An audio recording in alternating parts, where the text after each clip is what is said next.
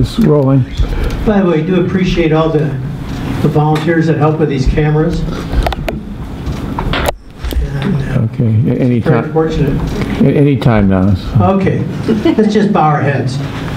Again, Father, we thank you for the chance to be here, be with David in a special way, to watch over us, be with our church, be with our country. We pray in your name, Amen. amen. Thank you, Forrest, and thank you all for being here. How many of you were here last week? I um, noticed that there were a variety of responses to what we heard. Some were perplexed, others were maybe a little bit apprehensive, and maybe, though I didn't run into these people, there were some who were, were pleased by oh, what we heard. I am particularly happy that we did not discuss it last week. I think it was good that Dr. Brandstater took the whole time so that we would have an opportunity to think about these matters uh, before immediately responding to them. We have a tendency, I think, sometimes to react, maybe not overreact, but to react uh, perhaps more swiftly than we should. And I think some time here will give us an opportunity for reflection. Dr. Brandstater will be back, I think in the middle of October. He could not be here today, and that's why I'm stepping in. Excuse me.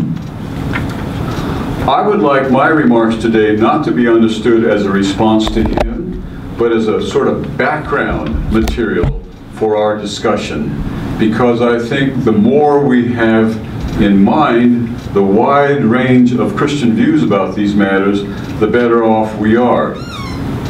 I would particularly like to look at the writings of Jonathan Edwards because he is known to be one of the most original and significant philosophers of religion or philosophy of any kind in the entire history of the United States. Many people know him only for that one rather vigorous sermon, but he is well known elsewise for a very, very penetrating mind and one that was well aware of the philosophical currents in his time, both in what we call the United States and in Europe. And his writings are still pondered today. There's a big Jonathan Edwards Center at Yale, but there are Jonathan Edwards centers all over the world, and they are increasing in number, not decreasing in number. So Jonathan Edwards is by no means receding in influence. He is actually growing in influence. And as the charismatic movement of our time becomes more and more influential, many people are going back to the writings of Jonathan Edwards to discover what we might learn from them. I learned about Jonathan Edwards from Roy. Roy Branson in a class back at the seminary. I can't now recall if it was a class in ethics or, a class in the development of American theology. I suspect it was the second one. I do recall reading two books with John, by Jonathan Edwards with uh, Roy. One of them was The Nature of True Virtue, and the other one was Religious Affections. And both of those caught my attention and have been close to me all through the years. The nature of few, uh, true virtue is about what a genuinely excellent person's character looks like. And Jonathan Edwards' answer to that is a virtuous person is one who consents to being in general. Huh? Consents to being in general. And his argument throughout the book is that we have a tendency to have narrow and parochial loyalties. And as we mature, the scope of our loyalties, the circumference of our loyalties, gets larger and larger and larger until that encompasses the whole universe. And that's what he means by being in general, everything that is, particularly everything that is insofar as it is divine. Being in general is a word that, uh, an expression that Jonathan Edwards would use for God. And so the question comes up, was he a pantheist? And the answer to that is, well, that depends upon what one means by being a pantheist. Uh, remember that at one point in the institutes of the Christian religion, John Calvin says, those who understand things will be correct if they say nature and God are the same thing. But it's important to understand what is being said when those uh, comments are made. So we can think of three different forms of pantheism. One of them is the most um, inaccurate one. That's the idea that God is in everything. That is not pantheism. That's the omnipresence of God. All, all Christians believe that. Spinoza's view was that God and, the nat- and nature were the same. One might draw a circle around the universe as a whole and draw a circle around God, and they would be indistinguishable. Indis- uh, ding- help me. Indistinguishable. Indistinguishable, yeah, that's the word I'm looking for. So around. Uh, now, however, if one looks a little closer at Spinoza, Spinoza, Spinoza is not saying as such that the universe is God, but the being of the universe is God. And we recall that for Spinoza, there is one actuality. Uh, so his is a monistic philosophy, and the particular things in the universe are monads, uh, kind of coming up out of that one reality. So if we equate the word nature with these particularities, no, that's not what God is. But God is the the essence or the substance or the beingness, we might say, of all that is. And if that's what one means by by um, pantheism, then I think we would say that Jonathan Edwards was a pantheist. Parenthetically, Jack Provonsha had a lot of good to say about pantheism. He felt like it fell short with regard to the issue of freedom. But my best encapsulation of Jack Provonsha's doctrine of God is to say that for him, God is the unity of all unities. So every particular thing is a unity of some sort. My, my life, my body, so is yours.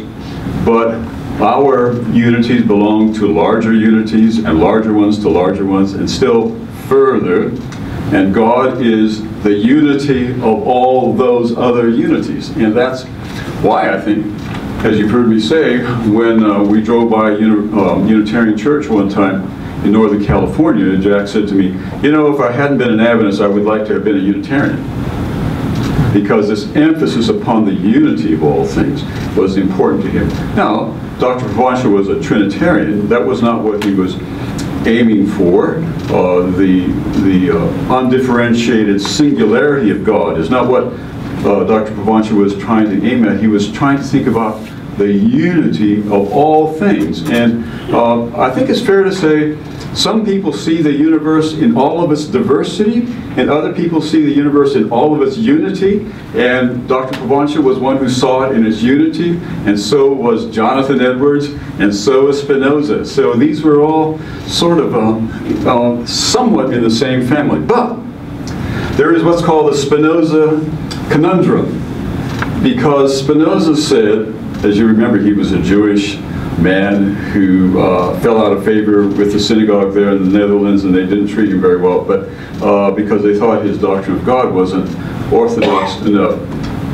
What, what Spinoza said is that the idea of God in the biblical religions is not false, it's just incoherent. It doesn't make sense on its own terms, which is an important point. Before we can ask whether God is actual or not, we have to ask whether the notion of God we're working with is inherently coherent. And Spinoza's point was that no, the biblical God, the concept of the biblical God, biblical God is not uh, conceptually coherent. Why, Spinoza said? Because God is ostensibly perfect. But if God creates something other than God, that must be because there was some deficiency in God in the first place. So either God was not intentional when God created the universe, which is contrary to Scripture, or um, there was some lack in God that prompted God to create the universe to fill that emptiness in God's own being. Well, that's where Jonathan Edwards had to step in. And his last book, called Dissertations on the Christian Religion or something like that, is very complicated, and I haven't read my way all the way through it, but I have got to the end of it. And I think Jonathan Edwards says the right thing about that, and that is to say, it is part of God's nature to be creative. Hmm. God does not someday say, well, no, I'm using my language, not Jonathan Edwards, right? God does not say someday, well, this morning I think I'll be creative and put out there a universe. No.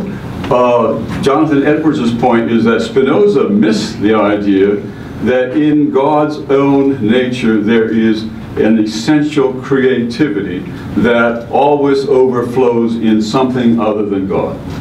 And so, from that point of view, there has never been God without a universe, and never a universe without God, because of God's essential creativity uh, necessarily causes God to uh, create that which is not God. And I think that's exactly right. Uh, and you see people in our time making that move as well. Now, what's happening is that in our lives we can distinguish between the nature of something, the nature of our lives, and the choices we made, the being of something and the action of something. But uh, for God, the concept, of God that Jews, Christians, and Muslims have is that the, the action of God and the being of God are one and the same. So, uh, you know, someone who's just radically different from all of this is Karl Barth will say that in God's own constitution, God wills to be that which is not God. So God was never home alone. There was always that which God was in the process of creating. That does not mean that what God had other than God was this planet or this solar system or what we call the universe. All it means is that there is that which is not God in which uh, God is working to bring about as much perfection as possible. So, it's, a, it's an interesting topic, and I think it's uh, an important topic because it goes to the heart of what we understand God to be like. Are we saying that it would be possible for God to be God without being creative? And I think if we put it that way, quite a few of us would want to say no. So, now back to Jonathan Edwards. His father was a pastor uh, who had a little difficulty making ends meet, so he was a tutor for people, children who were wanting to go to school. Uh, Edwards was a very astute young fellow and wrote careful notes from his observations of insects and so forth, and uh, eventually landed up at Yale and uh, did well there. Um, then landed up in New York City for a while as a pastor, but eventually came back out to um, Northampton, I think it was, where he was the assistant pastor of the church that his grandfather pastored. It was the most prosperous and uh, influential congregation in that area at that time, and he was the associate minister. But his grandfather died, and so he inherited that pastorate. And he took it very seriously. Jonathan Edwards had come from a family in which there were 11 children, and he was number five, but he was the only boy. He and his wife had 11 children, but they had the good fortune, they thought, of having three boys and not just one. Everyone says that Sarah uh, Pierpont, whom he married, was a very impressive woman. He himself, in his journal, says that he had recently encountered uh, a woman of unusual attractiveness and intelligence and piety, and she's 13 years old. so he waited until she was 17, and then they married. And they had a wonderful marriage. People say that uh, their home was filled with tranquility and joy uh, and happiness, and hardly a word uh, cross was, a crossword was shared between them. George Whitefield visited them when he was single, and he said, the Edwards family is so um, tranquil and joyful, I want to get married. So that it had a, that kind of impact. Uh, people say that she was very, very um, buoyant and courageous in the face of adversity and provided uh, the family the kind of openness that was needed because Jonathan Edwards tended to be somewhat private and reclusive. After all, his schedule, as he made it, required him to study 13 hours a day. Every day, 13 hours a day. One hour a day for his children, and then the rest he could do whatever he wants to do with. But he really took seriously the role of a pastor as a teacher. Uh, now, he does say in his own journals, you know, my wife has, has uh, times of melancholy. and sometimes that almost overwhelms her. So what does that mean? When I asked Bronwyn that, she said, that means she was human. Maybe she was lonesome. Maybe lonesome, yeah. I think it means he wasn't helping her with the kids. That could well be, that could well be the case. So, One hour a day wasn't enough. I'm sorry? One hour a day. One hour a day wasn't enough. I should think with e- 11 children eventually, that, they probably needed a little more, more attention than that. So he was a pastor, but it did not go well because two things, somewhat quite contrary. He was part of the New Light people who accepted the revivals that were going on, whereas many of the people were quite suspicious of the revivals of the First Awakening. So he was sort of out of step with this rather comfortable and prosperous and dignified uh, congregation that was a little scandalized by all of this commotion created by the uh, First Great Awakening. But the other, the other thing, though, is that he was um, perhaps more stringent than the people in that congregation preferred, and he made the requirements for, for being a formal member of the congregation much more stringent than his grandfather had.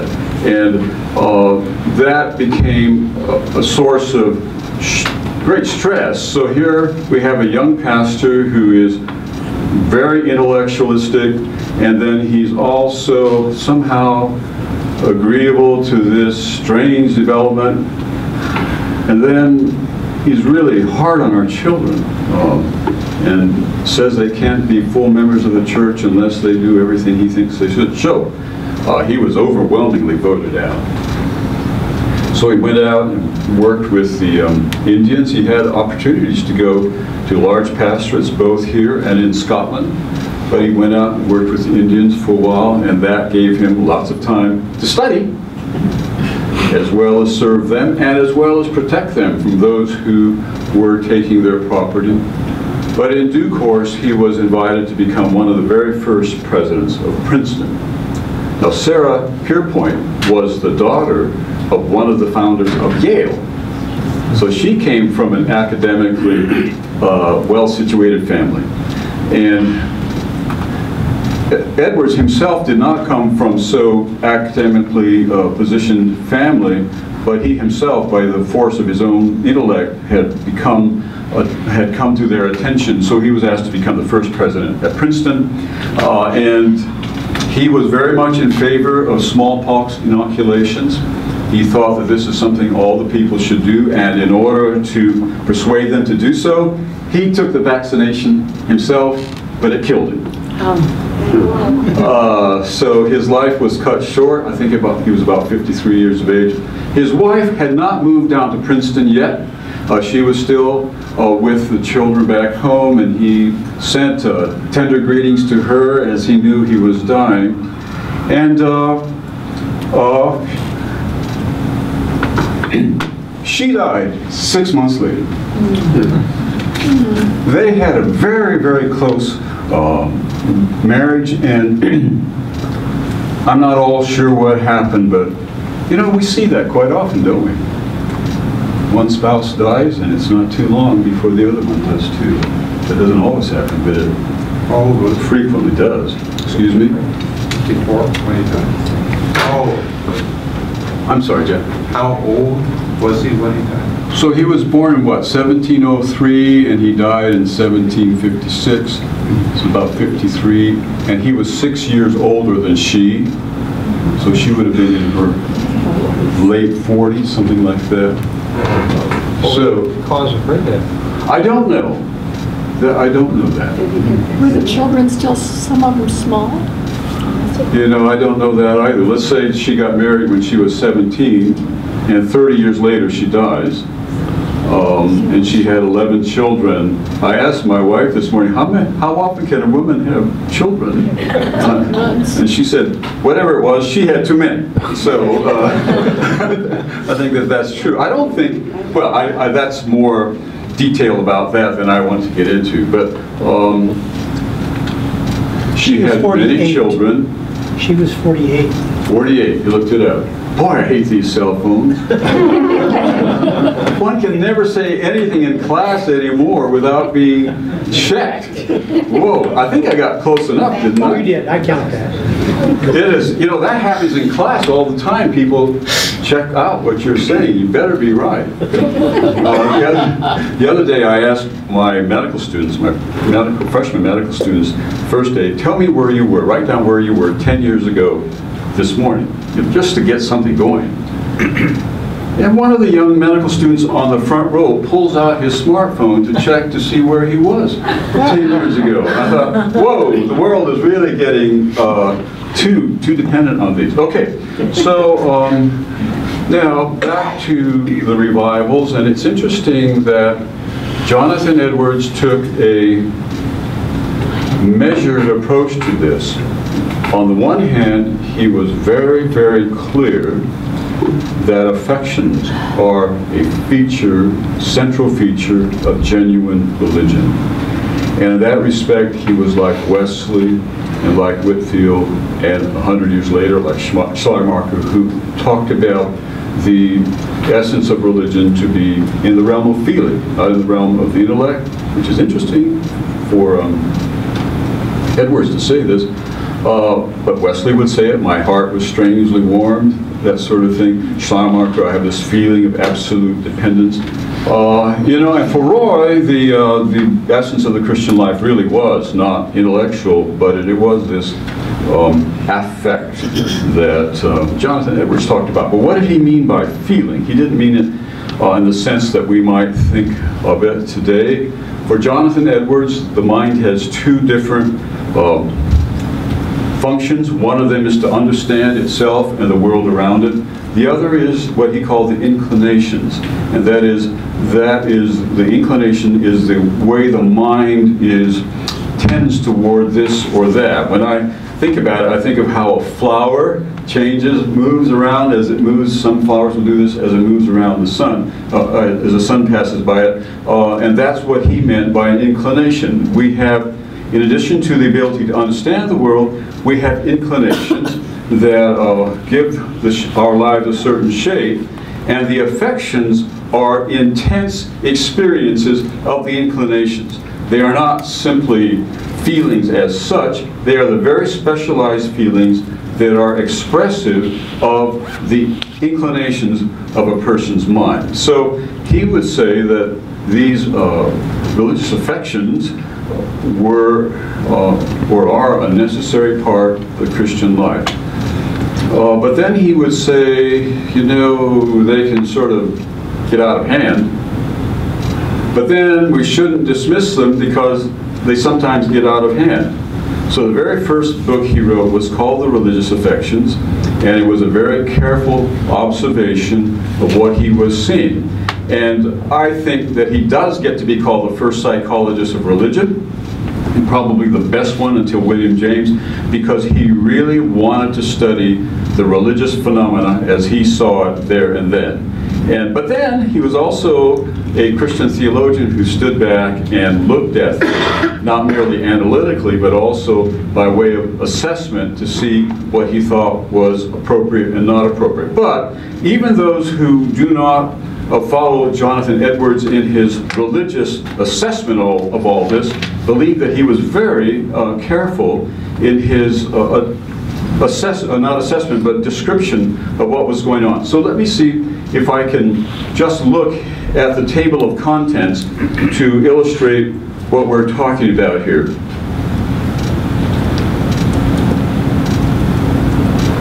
So in part one, he talks about what the affections are and why they are part of true religion.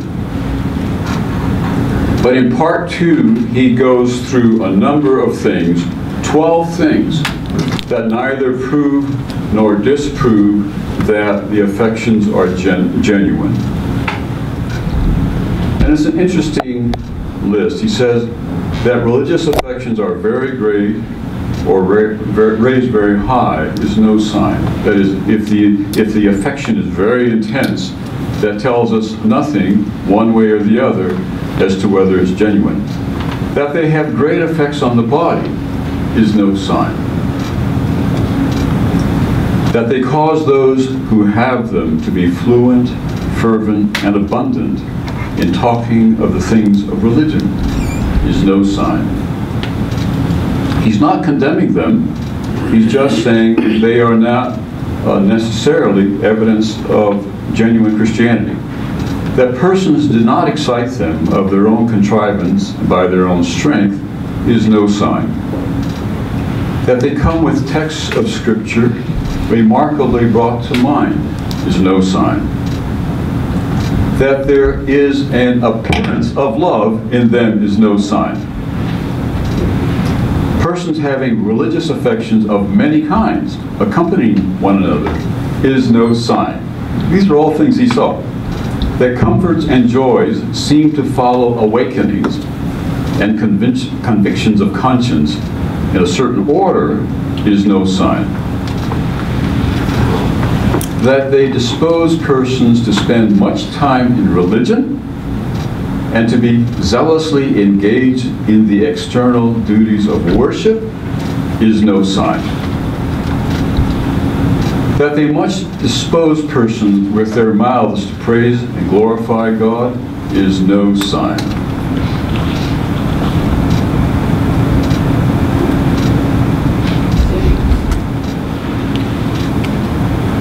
Be careful when you hear a lot of God language. That they make persons that have them exceedingly confident that what they experience is divine, and that they are in good a good estate, that is, they've been called by God, not damned by God, is no sign. That the outward manifestations of them and the relations persons give of them are very affecting and pleasing to the godly is no sign. Now, I'd like to go back and uh, take a look at one of these earlier, but then in part three, he talks about what genuinely are signs. And some of these I understand more uh, clearly than others. One genuine sign of a true religious affection is that they arise from divine influences and operations on the heart. Now, uh, I would have thought that that's begging the question. Um, but it's also the case that he thought it discernible as to what came from God and what didn't. That, that I have a trouble. I don't really understand what's going on there. Uh, that divine things are not motivated by self-interest. One should love God for God's sake and for God's beauty, and not out of any hope of reward for doing so.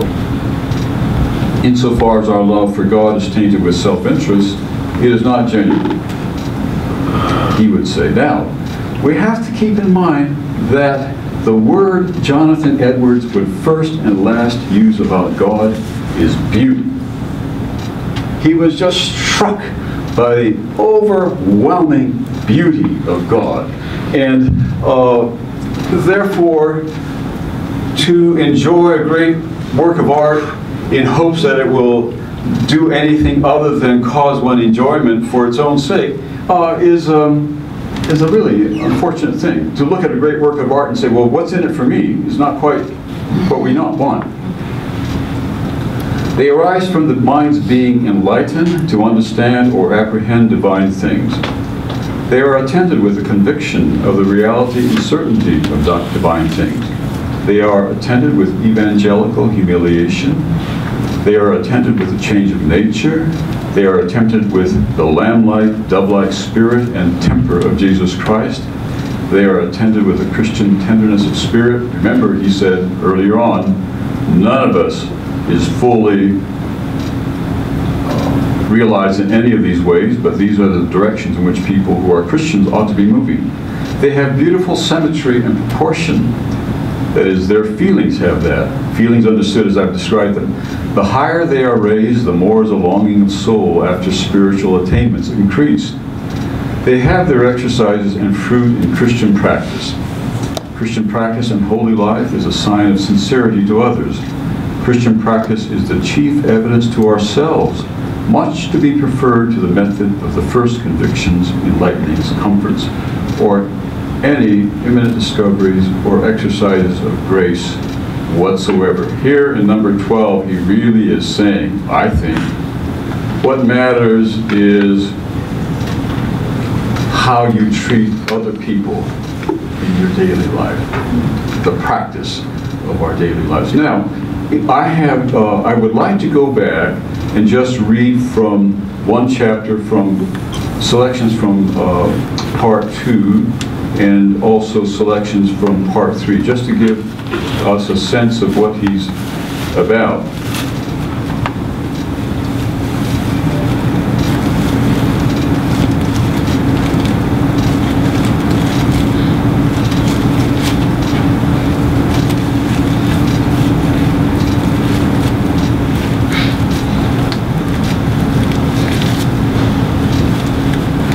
I'd like to just look at what he says about bodily um,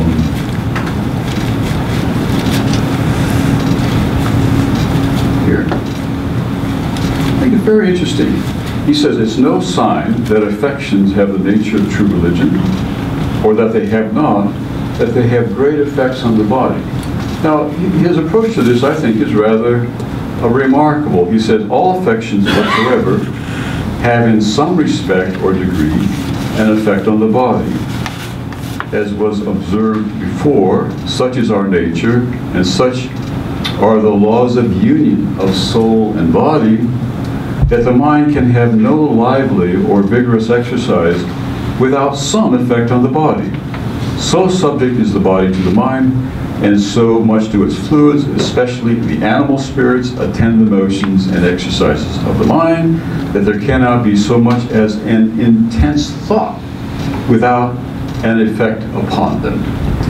Then he, uh, let me just move through, through here. Great effects on the body certainly are no sure evidences that affections are spiritual, for we see that such effects often uh, often sometimes, oftentimes arise from great affections about temporal things, and when religion is in no way concerned in them. Nor, on the other hand, do I know of any rule any have to determine that gracious and holy affections, when raised as high as any natural affections, and have equally strong and vigorous exercises, cannot have great effect on the body. No such rule can be drawn from reason. I know of no reason why a being affected? With God's glory, there you go, God's glory, should not cause the body to faint, as well as being affected with a view of Solomon's glory. And then he goes through scripture talking about how uh, people who reportedly encountered God had physical reactions. The psalmist, speaking of the vehement religious affections he had, speaks of an effect in his flesh or body besides what was in his soul, expressly distinguishing one from the other. And then he talks about Psalms 82. The prophet Habakkuk, uh, that such ideas of God's glory as are sometimes given in this world have a tendency to overhear the body, over, yeah, overhear the body is evident because the scripture gives us an account and that this has sometimes actually been the effect of those external manifestations God has made of himself to the saints. So,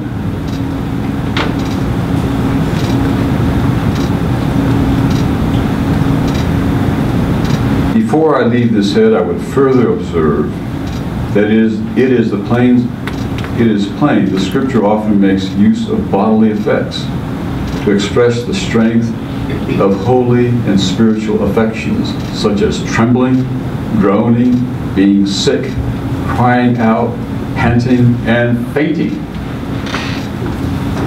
Now, if it be supposed that these are only figurative expressions to represent the degree of affection, yet I hope all will allow that they are fit and suitable figures to represent the high degree of those spiritual affections which the Spirit of God makes use of them to represent, which I do not see how there would be if these spiritual affections, let them be in never too high a degree, have no tendency to any such thing, but that on the contrary, they are the proper effects and sad tokens of false affection and the delusions of the devil.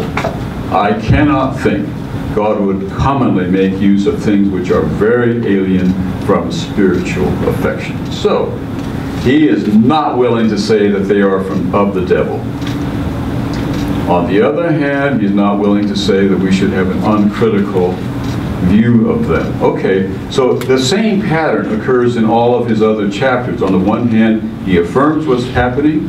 On the other hand, expresses some cautions about it. But then on the other hand, he comes back and affirms it at the end. It, it was those affirmations that got him in trouble with his uh, congregation. Let me go back to see if I can find what I want in page, in part three.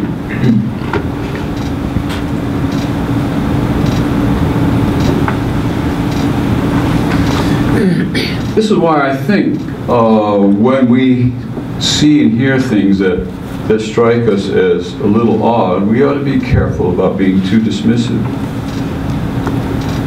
That doesn't mean we should be gullible, but we ought to be careful about being sure, being too certain that we know what's really going on here. Okay, here part three, I want to, this one is, the, I love this one. They have beautiful symmetry and proportion. The true affections do. Not, this, not that the symmetry of the virtues and gracious affections of the saints in this life is perfect.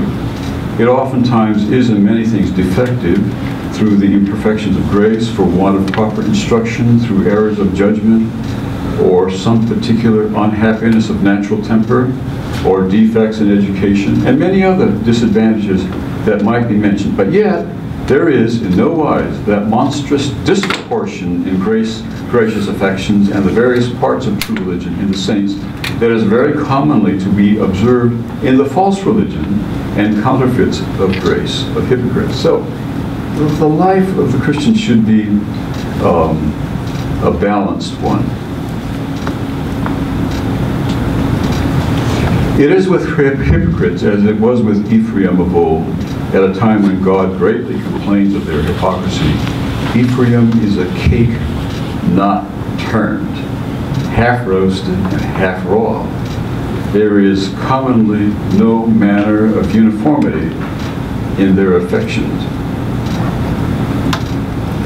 So he's going to give us a lot of illustrations of this. But particularly, one great difference between saints and hypocrites is this, that the joy and comfort of the former is attended with godly sorrow and mourning for sin. They have not only sorrow to prepare them for the first comfort, but after they are comfort, comforted and their joy established. Okay, as it is foretold of the church of God that they should mourn and loathe themselves for their sins after they were returned from the captivity and were settled in the land of Canaan, the land of rest, and the land that flows with milk and honey. So, you know, he's saying the people of Israel still had reasons to be repentant after they came back from Babylon, and we do too, after we've been converted. Okay, not only is there often in hypocrites an essential deficiency as to the various kinds of religious affections, but also a strange partiality and disproportion in the same affections with proportion in others. A holy hope and holy fear go together in the saints, as has been observed from the Psalms. But particularly, coming down here, one great difference between saints and hypocrites is this. No, I- I've done that. Let's keep moving. Thus, as to the affection of love, some would make high pretenses and a great show of love to God and Christ, and maybe have been greatly affected with what they have heard or thought concerning them, but they have not a spirit of love and benevolence toward men. As to love to men, there are some that have flowing affections to some, but their love is far from being so extensive and universal in nature as a truly Christian love is.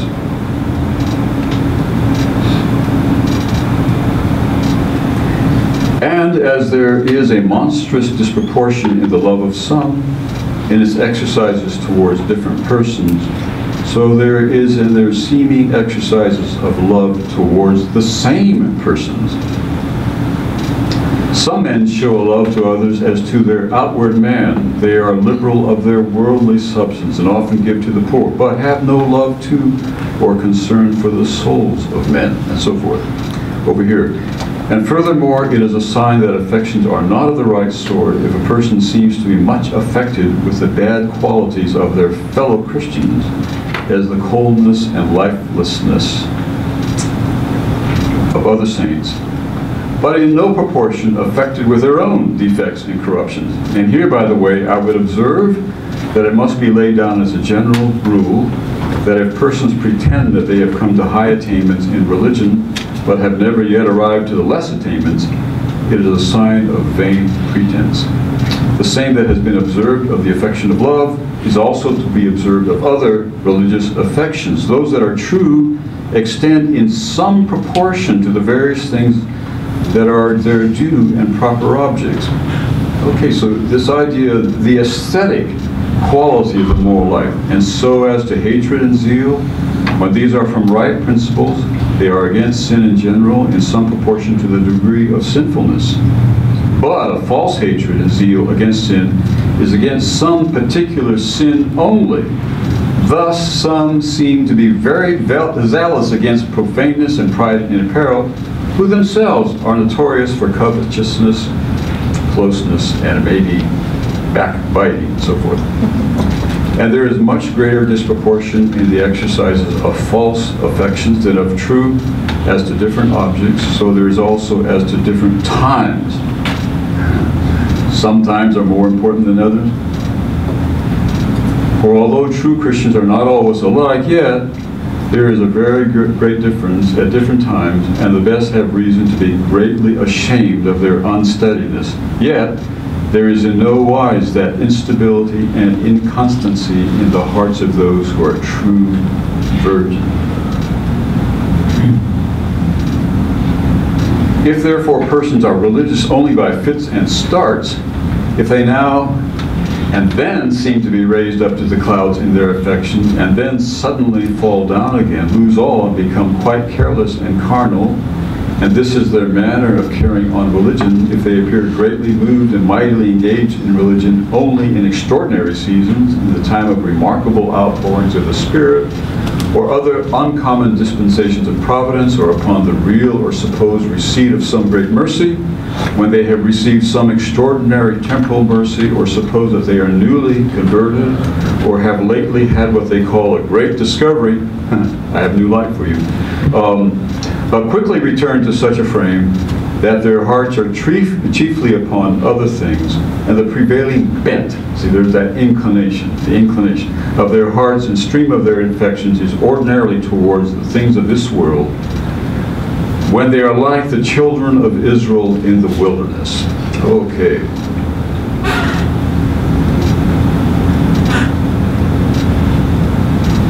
Okay, so you get the get the idea. And he will do the same thing in all the other positive indications of genuine religious um, affection. So, he has, I think, a view of things that we might want to keep in mind when we see uh, strange things happening when we re- hear reports of strange things happening.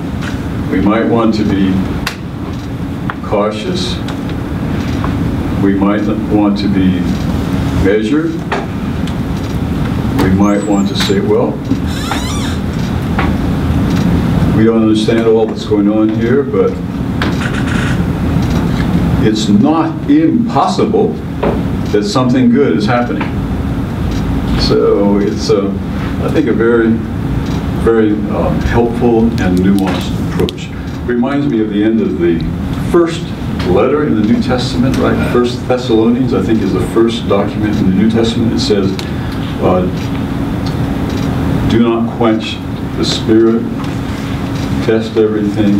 Hold fast to that which is good." Test, test, test, test, test. All right. Any comments?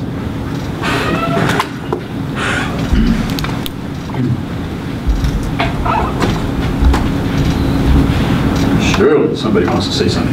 Dr. Gordon. I'm not sure that I want to, but I will anyway. Good. Get us going.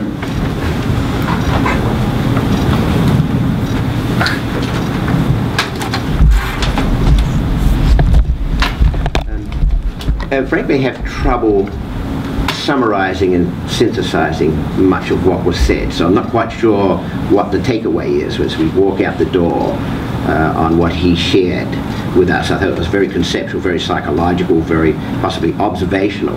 But what comes to my mind is that um, fundamental question is we don't know how God does what God does, how He talks to us, um, how He impresses us.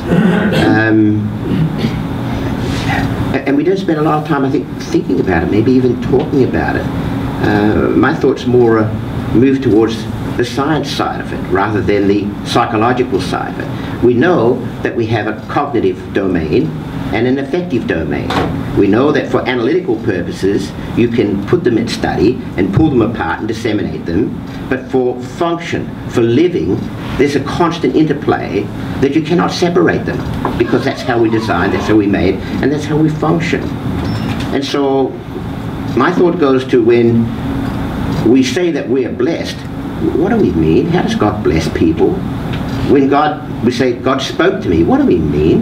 How did God speak to us? I was filled with the Spirit of God. What, what, do, you, what do you mean? How does God fill this, uh, with you with the Spirit of God? Oh, He spoke to me through my conscience. What conscience?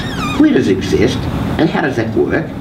You see? Oh, God protected me with angels. I felt God's angels around me. What do you mean you felt God's angels around you? You see, there's a layer of questions here that get to our living and our godly experience that uh, um, I think we generally poorly understood.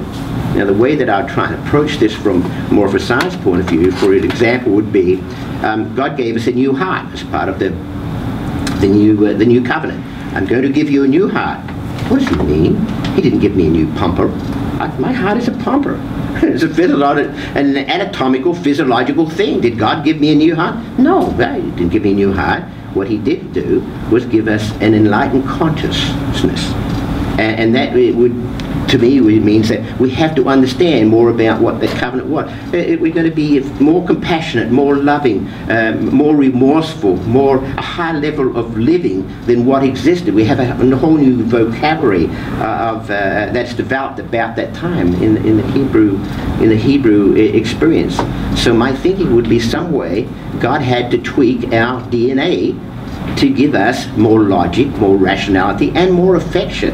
We were different. The only way he can do that is through our DNA and it's through our mind, through our frontal lobe, through our parietal lobe. Something happened at that level if God was going to have us have a new heart, as a new as a new package of sensibilities that weren't previously manifest. That's how he's going to talk to us. That's how we're going to know. So I'm trying to find my way through this in some kind of physiological, neurophysiological way. I'm, thank you, because you said a lot of different things, and I'd like to respond at least in these ways. One, I think Jonathan Edwards is inviting us to be not so dismissive. Not to be sure that things that are strange to us are necessarily demonic or um, deviant. I think that's a good you know, just, just, just be quiet. Uh, And when Dr. Brandstater tells us something that seemed a little odd to us, well, we just listen. We don't have to pass judgment on it either way, but we listen. That's the first thing. The second thing I think we need to emphasize is that, in effect, Jonathan Edwards is saying, we can never know whether some impression we have is of God by the way in which it comes to our minds. The form of it is no, whether it comes to us while we are praying or singing or uh, whatever, um, in our encounters with other people, is the form of the message doesn't matter. So you don't, whether a person can hold the Bible up for X number of reasons or moments or breathe without breathing, all of that has nothing to do with anything. Uh, Edwards would say, don't condemn it, but then don't take it as having any evidentiary value at all. Uh, The only thing that matters is the substance of what is being conveyed, not the form in which it is conveyed, but the subs- substance of what is conveyed. And to that, we have to apply all of the normal tests of truth that we have, but particularly uh, consulting with our brothers and sisters in the church. I think that that's a very important point, and I have had experiences in my life when I've said to my colleagues, you know, I have this impression. Um, you think I should treat it as though it were from God or as though it were not from God? That's the way to put it. I'm not asking whether it's from God or not from God. I'm asking, should I relate to this impression I have as though it were from God or should I relate to it as though it were not from God? And I've gotten good help from my colleagues on that very matter. Um, and I will use, to be not too disclosive here, I'll shift and use uh, Lou Venden as an example.